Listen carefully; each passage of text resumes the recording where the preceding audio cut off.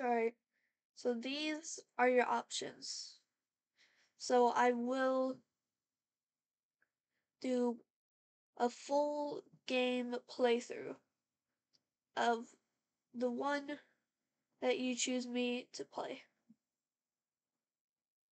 Oh, and if Nightmares 2 doesn't get chosen, I'm still gonna do a full playthrough of it anyways. You can't stop me.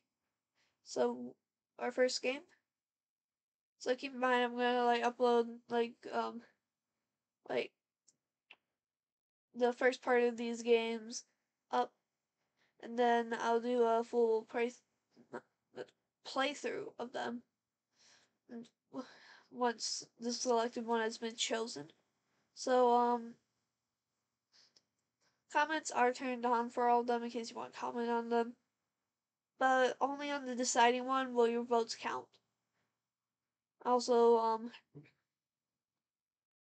if you comment on your account saying I want like Splatoon 3, then you can edit that comment later but and say like um Pokemon.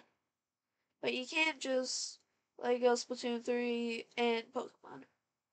You gotta choose between them. You only get one option and um they're all chosen then um it's Little Nightmares too. I'm obsessed with the game and um yeah. This is the announcement of you get to choose what game I play and make me suffer through. Bye.